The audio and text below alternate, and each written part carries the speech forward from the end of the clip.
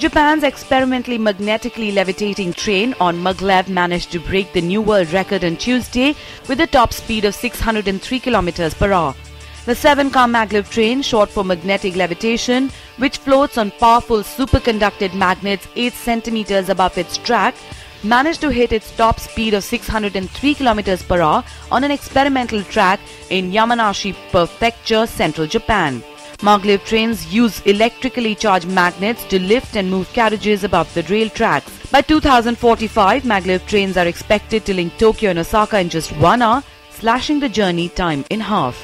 Yasukazu Endo, the head of research center run by Central Japan Railways, also known as JR Tokai, said, once in operation, the train will run at lower speeds.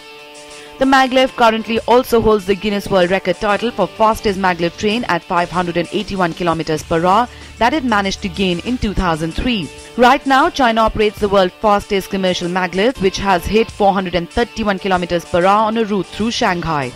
By contrast, the fastest train in the United States, Amtrak's Acela Express is only capable of 241 km per hour though it usually plods along at half that speed.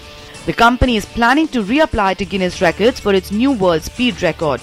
Japan's maglev route between Tokyo and Nagoya is set to open in 2027 at a cost of 5.1 trillion yen and the Nagoya-Osaka route is expected to be complete by 2045.